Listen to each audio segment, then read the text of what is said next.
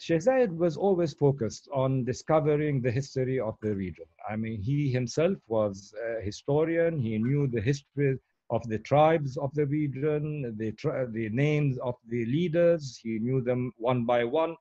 And he was also keen on discovering the history of the Emirates, the archaeological history of the Emirates. In 1953, uh, Geoffrey Bibby, a British uh, archaeologist, went with a Danish team to Bahrain in, and looking for the city of Dilmun, that fabled city that was an empire, a trading empire, uh, sitting on the trading routes between Mesopotamia and the Indus Valley. People thought it was the place where Eden uh, initially was uh, uh imagined or preconceived. Uh, and Sheikh Zayed knew of other places in the Emirate of Abu Dhabi that resembled the findings that were found in Bahrain. So he brought the same Danish team at, at that time with his brother Sheikh Shakhbout in 1959 to start looking on the island of, of uh, Umm where he went with his father even as a young boy on fishing uh, trips. And he knew also in Al Ain, in the Hili, in Bida bint Saud, in Jabal Hafeet. So he brought uh, these, this team in order to look for the same uh, archaeological finds, and he took them by himself personally to visit the various sites.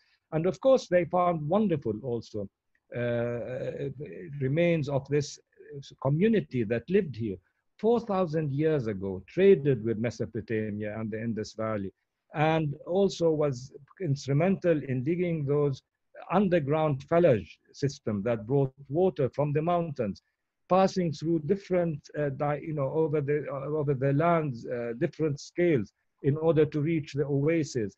So he was keen on uh, discovering this past and then also equally keen on setting it up in a museum. He had instructed us to have that museum built in 1969 before Al Ain even had water uh, supplies uh, and, and, and, and roads and other uh, infrastructural necessities.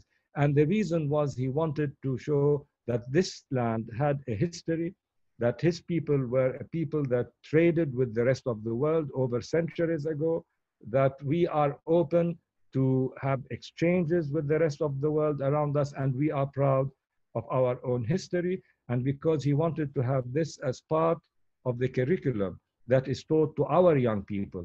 Don't forget that in the early days, everybody spoke of these countries as oil countries that they are nothing but newly uh, founded lands, if you like, based merely on oil. And he was telling them, no, we have a history and we want this history to be known by others.